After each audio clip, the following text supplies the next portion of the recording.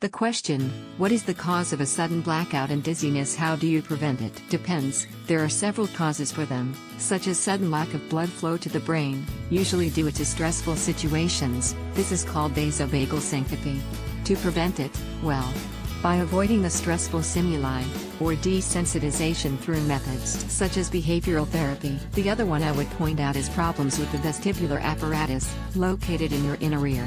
This is usually dizziness when changing positions, this is called benign paroxysmal positional vertigo, BPPV. If this is the case, there aren't really any ways to prevent it, aside from not making sudden turns with your head, but there is a way to adapt to it, called the Brandt-Daroff exercise, look it up on. Those are several ones I think are common causes of sudden dizziness and blackout, but I suggest going to a doctor in real life so the exact diagnosis and treatment could be determined.